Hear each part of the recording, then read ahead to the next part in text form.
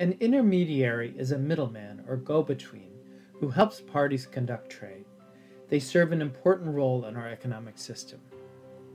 In early trading, people primarily transacted with others within their community, so uncertainty and risk was low.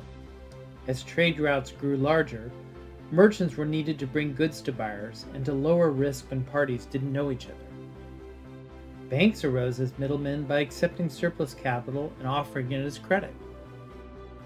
Our new online institutions, such as Amazon.com, eBay, and Airbnb, are merely evolved versions of early intermediaries.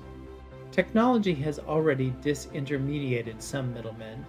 For example, when we buy directly from a manufacturer online, fewer middlemen are needed. The internet has removed significant barriers to direct trade by bringing together buyers and sellers online. An example of this is Craigslist. Blockchain has the potential to lower trading uncertainty by helping to establish identity and make it easier to exchange value. This technology evolution towards direct trading may have a significant impact on the business of intermediaries.